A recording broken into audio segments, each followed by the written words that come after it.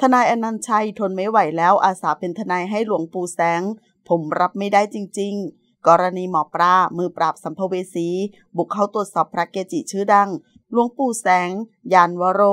อายุ 99 ปี ที่สำนักสงฆ์พื้นที่บ้านดงสว่าง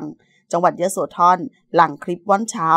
มีการกล่าวหาพระเกจิดังรนลามสาว ต่อมาทางสำนักพุทธเผยว่า หลวงปู่แสงมีอาการป่วยอัลไซเมอร์ อาจจะมีการกระทำไปโดยไม่รู้ตัวก็เป็นได้ ล่าสุดทนายอนันต์ชัยชัยเดชได้ออกมาเคลื่อนไหวล่าสุด เสนอตัวเป็นทนายความให้หลวงปู่แสง อาสาทำคดีให้ ลั่นทำกับหลวงปู่แสงได้อย่างไร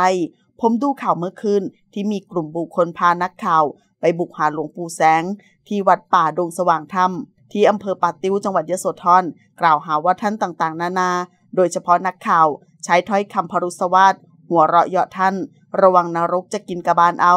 หลวงปู่แสงท่านเป็นพระปฏิบัติดี ปฏิบัติชอบ เป็นพระป่าสายกรรมฐาน ท่านเป็นโรคอัลไซเมอร์ พวกทำอะไรกับหลวงปู่ ผมรับไม่ได้จริง ๆ หากสิทธิานุสิทธิ์ของหลวงปู่แสง จะดำเนินคดีกับพวกนี้ ผมในฐานะเป็นผู้ปฏิบัติธรรมสายกรรมฐาน ผมยินดีเป็นทนายความให้ครับ ติดต่อผมมานะครับ สาธุหลวงปู่แสง ขอขอบคุณข้อมูลจากทีนิวส์ขอบคุณค่ะ